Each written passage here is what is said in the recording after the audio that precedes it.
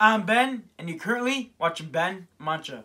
Before we get into the video, we have a giveaway going on. All you gotta do is subscribe to the channel, turn on post notifications, follow me on Instagram, Ben Mancha, underscore and comment down on the giveaway video. We'll be giving away at 1,000 subscribers, and at 500 subscribers, I will do a sneaker collection video. So today's video, we're gonna be talking about the Nike React foam that's coming out January 22nd for the new Nike React shoes coming out they take a little bit of inspiration from the Flyknit racers with the upper, but the this bottom is Lunar Lunarlon right here. Lunar Lunarlon.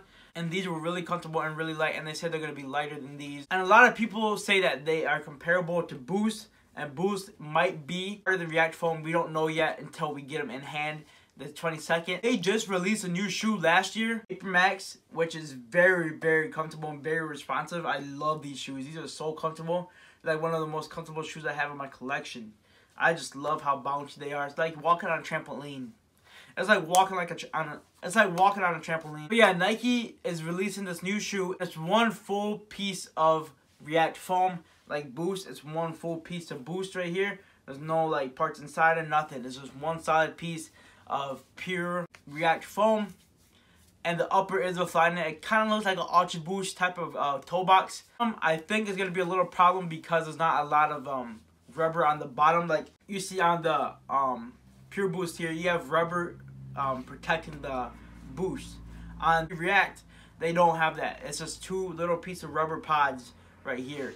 Um, I think that might be a problem, but they said that they um, tested them out and people tell them, told them they didn't even look like they wore them, so I'm curious to see how it's going to hold up and how it's going to respond to everyday wear. Because that's basically what people are going to be wearing them as, everyday shoes. And retail price, I think, is 150 which isn't bad because these ones right here retailed for $200 right here.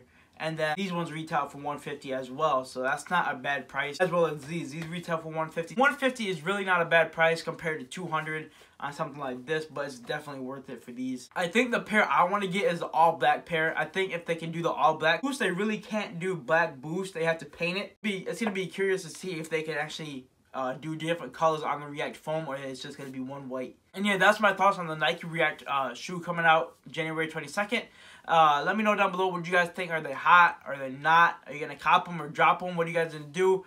I think they're going to be almost like this shoe. Said, we have a giveaway going on. All you got to do is subscribe to the channel, turn on post notifications, follow my Instagram, BenMancha, underscore and comment down on the giveaway video. Hope you liked the video, and if you did, make sure to like, comment, of course, subscribe. Until next time, peace.